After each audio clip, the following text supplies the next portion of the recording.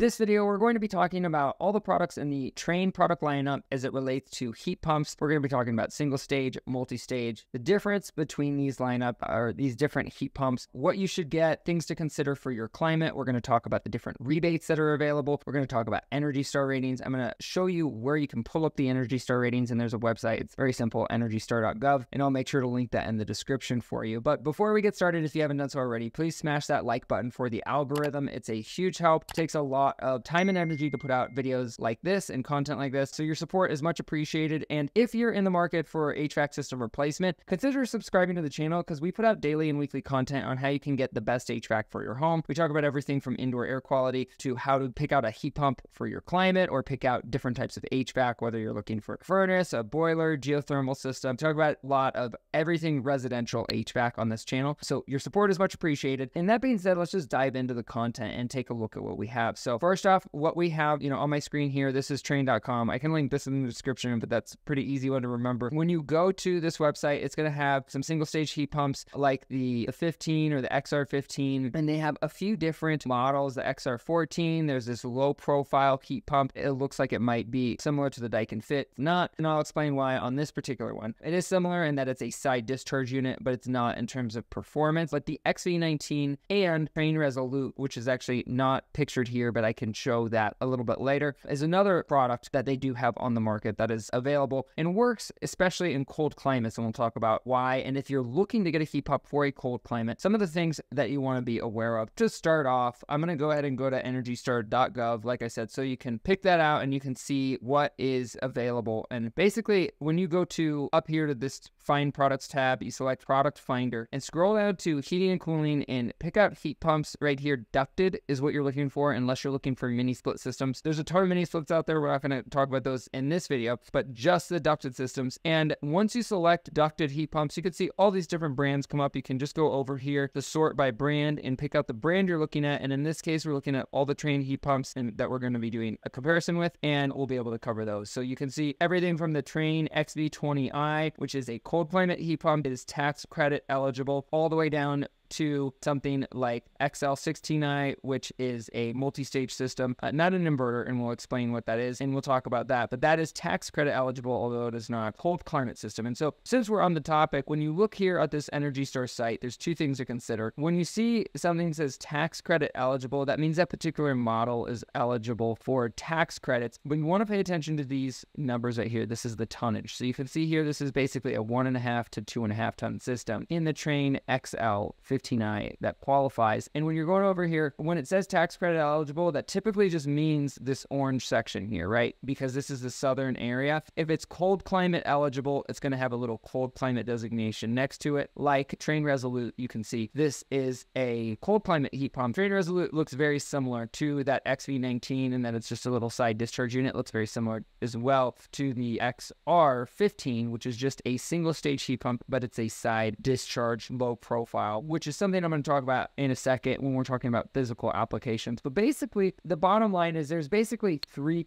types of heat pump systems, right? And then there's a fourth category, which basically just jumps up from the type of air handler you put in and whether or not you put in a new furnace or a traditional air handler. And the first type of heat pump, your most basic heat pump, is what's called a single stage heat pump. Now, that's going to be something like this 15, the XR15, this 15 single stage heat pump that says with weather guard top. So this is going to be great in a climate that's really raining or gets a lot of leather from the top because that's going to prevent rain debris from coming inside the unit. This is a basic single stage system, right? And if you look at and jump to some of these other systems, I believe this one, the XLI 15, is a multi stage, but I could be mistaken. Nope, this is a single stage. But if you look at, here we go, down here, XV17, no, this one is actually, this is a variable speed system. So I'll get to this in a second. But bottom line is, some of these systems, it's missing some stuff on this page, but we'll go through it on another profile. The single stage system is basically it's on or off, right? That's why they call it single stage because it has one stage. A two stage system or a multi stage system is what it sounds like. It, it has 50% capacity and it has 100% capacity. And when you look at a variable speed system like these systems right here, like the XV17, this has multiple stages beyond that. So this says it's a variable speed system or variable fan stages. And when you go look at the product brochure and you go through the different lineups, you can see these things are all single stage systems, right? The XR14 is a basic 14 SEER system. But then once you get to the XR16 and the XL17i, these are actually two stage systems. And then when you get to that XV17, 18, 19, and 20i, those are true variable speed systems. So what do you need and what's most important for you? Let's talk about climate, right? If you're in Southern California, and I'll use uh, like place by the beach that's like comfortable most of the time where the weather is always, you know, maybe between 60 and 80 degrees. So you don't run your AC that often, you don't run your heat that often. You probably don't need the most efficient heat pump on the market. I'm just being straight up because you're not going to use it that much. Now, that doesn't mean you don't want to buy the most efficient heat pump for a couple reasons. First off, is there's some tax credits on there. Still, the tax credits are not and, and rebates are not going to offset the cost or the additional cost for that equipment. It's only going to be more expensive. However, the second and the most important consideration, in my opinion, is comfort. The variable speed systems will always be exponentially more comfortable. They're going to be a lot quieter. If you have any neighbors that have like a noisy AC that goes off and it's just super loud, you can see this XR14 single stage runs between 71 and 76 decibels.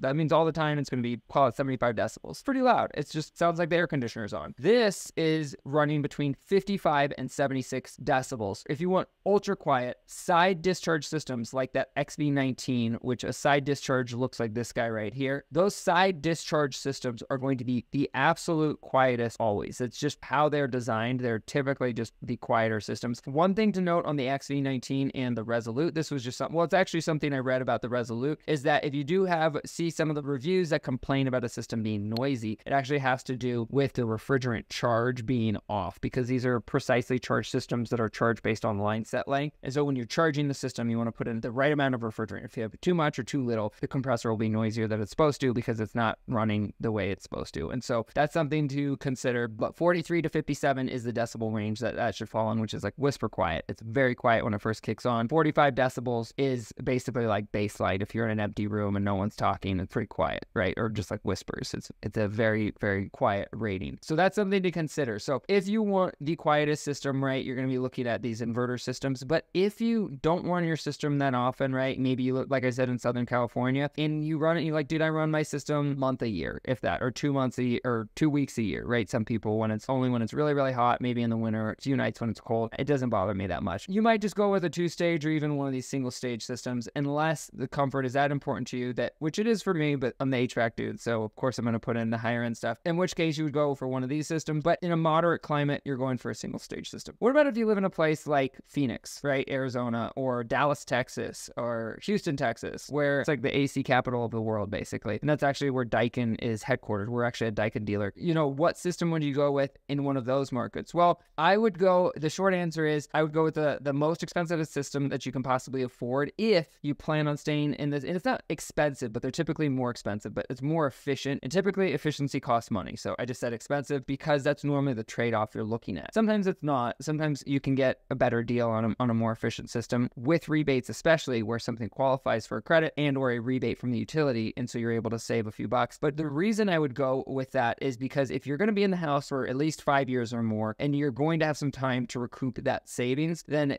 you're going to be better off going with a higher efficiency system because the equipment is under warranty. All these products are under warranty for 10 years on the parts, 12 years on the compressor. That's with through Trane. And so that's going to give you a long enough warranty where if you want to, in climates where your system runs a lot, you might only have a 10 to 12 year life cycle out of your system. Sometimes systems last 20 years. In Colorado, we've pulled out air conditioners that were 30 or 40 years. Some people out here don't really run their air, conditioners that often. I think they're crazy because it gets hot here in the summer. So it gets up to 90 to 100. It feels hot here. It does not feel cool. And, and the heat, it gets trapped inside your home, even though it's nice out. And so you'll open your windows, but it'll still feel hot inside. And so there is a benefit to having air conditioning here. But if you're in a place like Phoenix or something where you're running your AC six months out of the year at least, getting a variable speed system, you are going to see a cost saving. That's a fact. Now, if you have a, the bigger the home, the bigger the saving in terms of the opposite is true. If you want to save money, get a smaller home. But you know what I mean? When it comes to running your HVAC, you know, a bigger home with more efficient equipment, you're used to having a higher energy bill. Like if you had a 5,000 square foot home and you're used to cooling that and your cooling bill in the summer is $700 a month or $600 a month, and then you switch to an inverter, and that's what it was on a single stage system. And I've seen those types of savings numbers where it comes down in half, where, you know, you're now spending $300 a month or 350 or 400, but you're getting a significant savings. If you do the math on that, and that's two months out, you know, that's six months out of the year that you're saving 200 bucks a month, that's 2,400 bucks a year year that you're saving. So it's easier to start to recoup that cost and just make financial sense. And the comfort factor, again, is just kind of icing on the cake, where if that system, you know, it's going to last you 10, 15 years, maybe even more, depending on the climate, again, there's going to be a cost savings benefit for your consideration that you want to look at. Now, going back to the topic of stages, I want to point something out here. So as you can see, all these systems in this selection here are all single stage. These two systems in the priority section here are labeled as two stage, and then the stages jump up to like 75, 750, 700. What does this mean, right? Well, when I was talking about a single stage system, a variable speed system is still technically a stage system. It just has so many stages that it doesn't seem like a stage, right? When you go from in your car and it's idling at 1,000 RPMs and red line is 6,000 RPMs, it's technically going up by from 1,000 RPMs to 1,001 to 1,002 to 1,003. That's technically how it's re- accelerating up. So it's still technically like 5,000 stages of power or speed in your motor if you were breaking it up that way. The same thing is true for this. It's just on how the inverter board communicates with the compressor and gets the system to ramp up and down and ramp those stages up. So there's 750, 700 stages. Honestly, I don't know if you'll notice a difference between 100 stages or 200 stages. It's going to seem like a very smooth operating system is the bottom line. This is something to pay attention to, and this is your turn down ratio, which is basically your operating bandwidth, right? The system can run between 20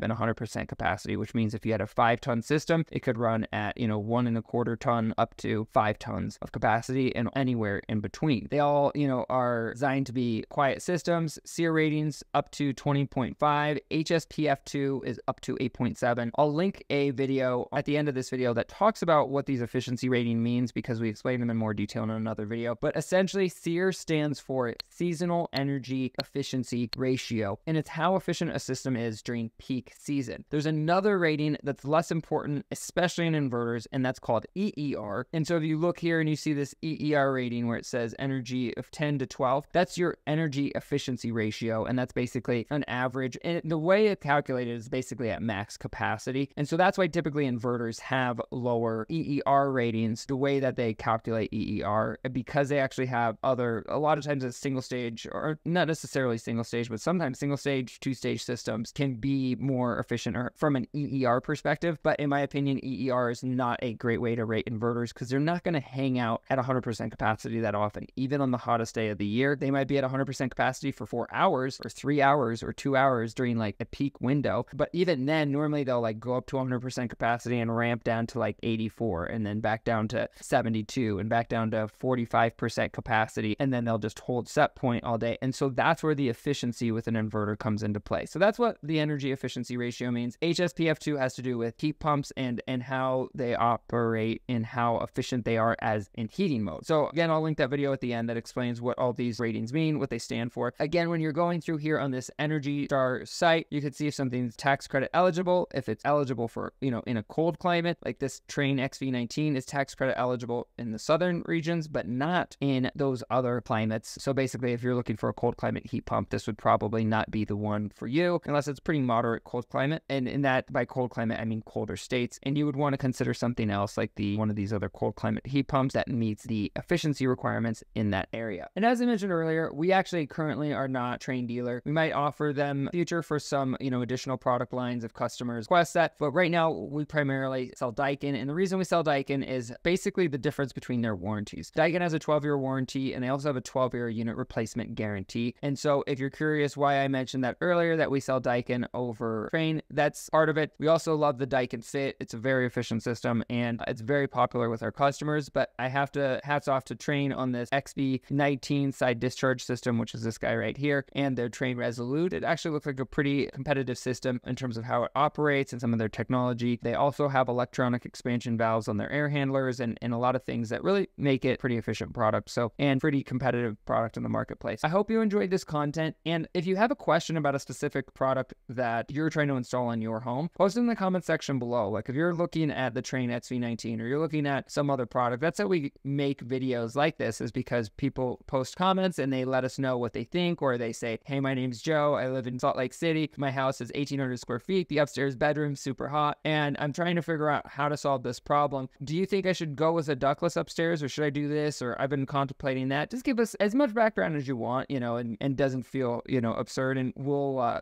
to you, and, you know, just just like I said, I love when people give us lots of details because it it makes it easy for us to you know post our opinion and uh, as a response. But post your comment in the comment section below. Uh, we do want to provide valuable feedback. We do want to put out content that's relevant for you, and so we do take those comments into consideration when considering you know how to proceed with making content and also how to help you get the best HVAC for your home, which is what this channel is all about. And if you happen to be in one of the areas we service, like Denver, Colorado, or Phoenix, Arizona, you can actually schedule an appointment with us for free. We come out for free for all first time customers, whether that's for a service call or annual maintenance, or if you're just looking for an estimate for system replacement. And there's actually a link in the description below where you can actually schedule online at your convenience, as well as an up to date list of the cities and states that we service so you can stay up to date when we start servicing your metro. And as mentioned earlier, there's a few videos popping up on the screen right now. One talks about heat pump efficiency ratings, as well as a few other videos that YouTube thinks you should watch. So make sure you check those out if you haven't done so already, and I will catch you on the next episode.